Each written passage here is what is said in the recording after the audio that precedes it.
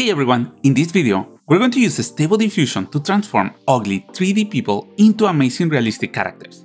Now, you might be wondering, why not use real people in the renderings? Well, sometimes 3D models offer more flexibility in terms of pose and lighting, but they can also look a bit plasticky.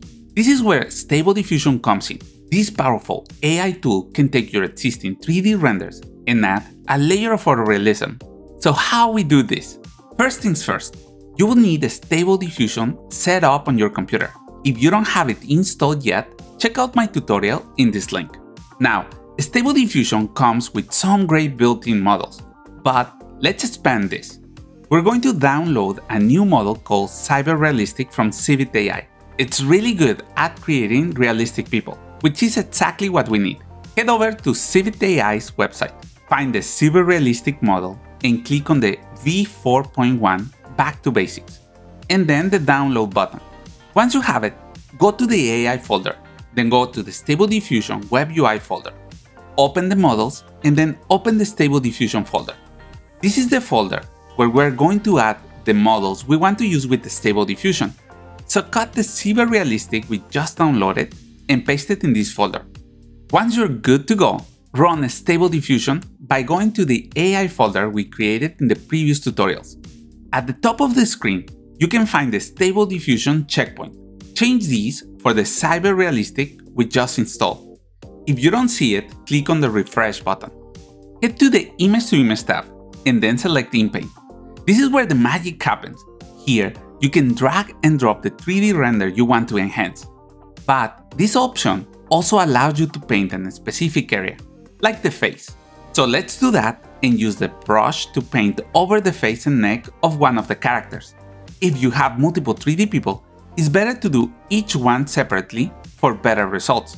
Once you have done this, scroll down a bit and change the in paint area to only mask. We're also going to adjust a few parameters. We're going to start with the denoising strength.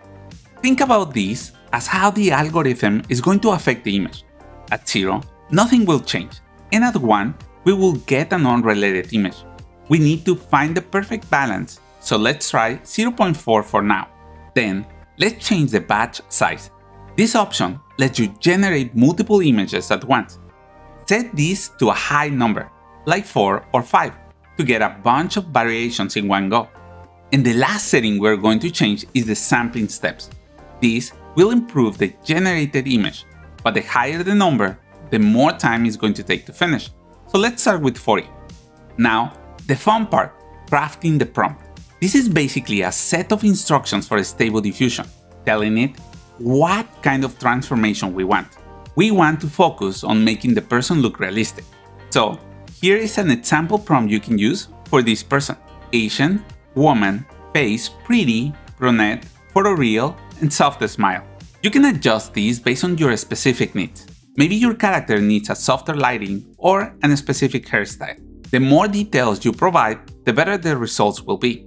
We also want to add some negative prompts. Think of the negative prompts as a way of telling a stable diffusion what you don't want to see. For example, if you're trying to create a photorealistic portrait but keep getting cartoon-like results, you could add cartoon style or animation to your negative prompt.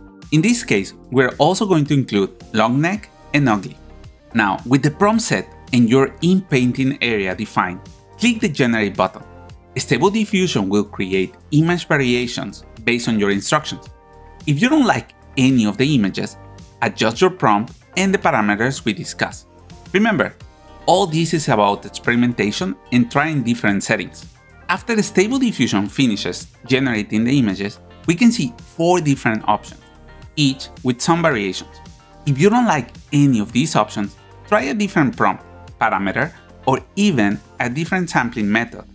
After you're happy with the first character, in the in-paint area, click the Erase button to remove the mask. Then, paint on the face of the next character. You may need to also adjust the prompt depending on the character features.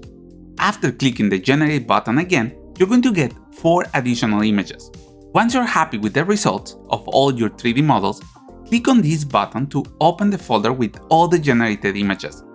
Then, bring both your original 3D render and your new AI-generated face into Photoshop as separate layers. Make sure your face image is the top layer. Add a layer mask to your AI face layer. This would let us select, hide, and reveal different parts of the face and hair so we can do a seamless blending. You can also use a soft brush on the layer mask and paint with black or white to reveal different areas of the face. As the AI face uses the same lighting and settings as the original render, we usually don't need to do any additional adjustments, but sometimes you may need to enhance the color or contrast of the image. There you have it, with the Stable Diffusion and a little creative prompting, you can take your 3D renders to the next level of realism. Remember, the AI world is all about exploration and learning. Don't be afraid to experiment with different prompts, models, and settings. Hope you enjoyed the video. Don't forget to click the like and subscribe button. If you have any questions, let me know in the comment section below. And thank you for watching.